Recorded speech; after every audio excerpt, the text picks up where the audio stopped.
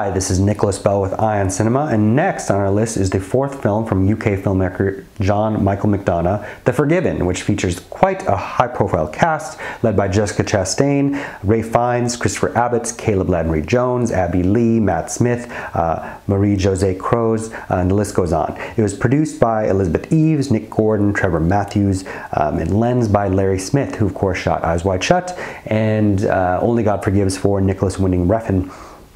Um, it's based on a Lawrence Osborne novel who has uh, quite a few works that are currently uh, in various stages of production. Um, it, this uh, narrative takes place over one weekend in the high Atlas Mountains of Morocco, where a, a random event uh, unites locals and visitors alike. Uh, McDonagh, who is of course related to Martin McDonagh, um, has previously, Sundance has been favorable to him. His 2011 debut, The Guard, uh, premiered there, as did 2014's uh, Calvary.